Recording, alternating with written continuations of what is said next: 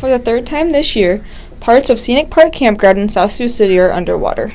Here, but it's looking pretty bad out here. KCAU9 Digital spoke with Renee Montreal, a camper who has been there all summer, about what her thoughts are on the flooding situation. Tent spots, cabins, and the lower campsites are already underwater. Montreal said that she has seen the water get close year after year, and it's starting to get ridiculous. This shouldn't be happening, really. Montreal says the Army Corps of Engineers are to blame for all this flooding. I don't know what, what they can do about it, but something's got to be done. This is crazy. Because she's on higher ground, Montreal does not plan to evacuate the campground unless she's told to.